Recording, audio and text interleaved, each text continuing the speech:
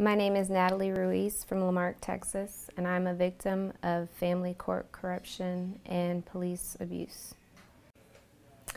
I was at home with my kids, getting ready to put them to bed, and the police um, in my city came knocking at my door.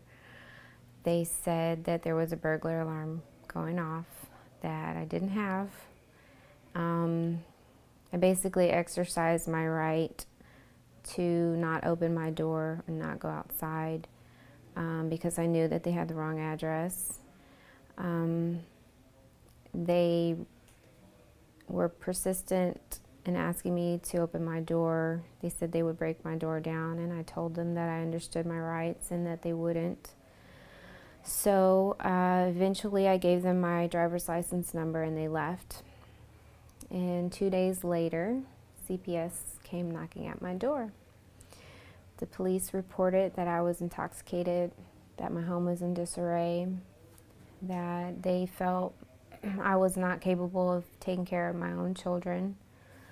Um, CPS was urging me to take a drug test, and I refused to do that.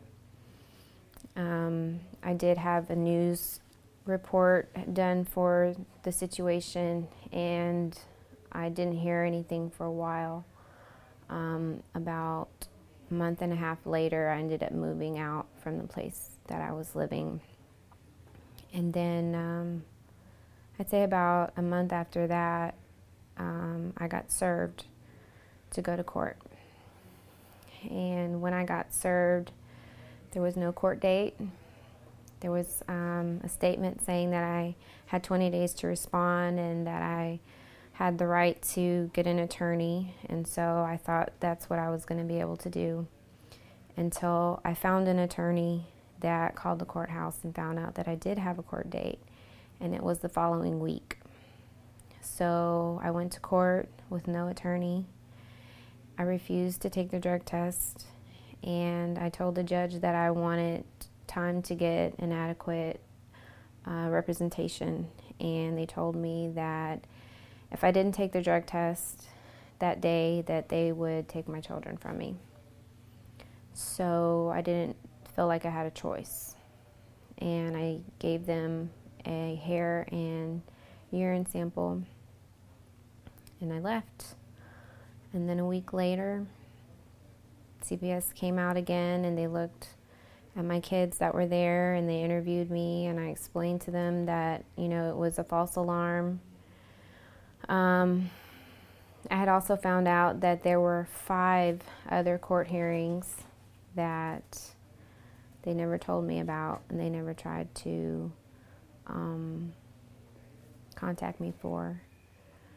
And I felt, I strongly felt like I was being set up to fail by them not giving me the court date, by them not contacting me directly for the other court dates that they had not served me for. So eventually my results came back. Um, it took a very long time, much longer than they said it would take. They said it would take five days. It took over a month for the caseworker to finally get the results back. And um, they said that my UA was clean. I'm sorry, that my hair follicle was clean, but my UA was not. And I, I thought they were full of it.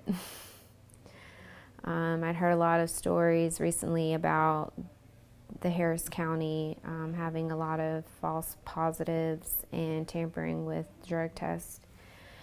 So little did they know, I had taken my own UA on the day before I went to court and it was clean.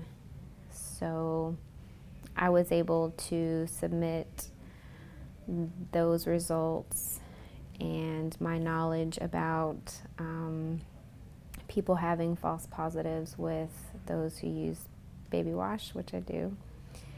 And eventually they ruled my case out.